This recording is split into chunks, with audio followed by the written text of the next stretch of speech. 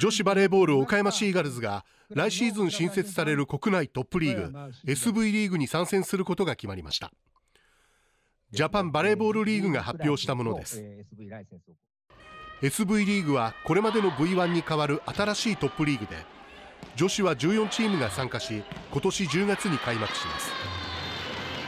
参入には4億円以上の売り上げやホームアリーナが客席3000人以上を備えていることなどが条件です。シーガルズは先月参入に必要なライセンスの交付を受けていました。また今シーズン V3 リーグで優勝を果たした倉敷アブレイズは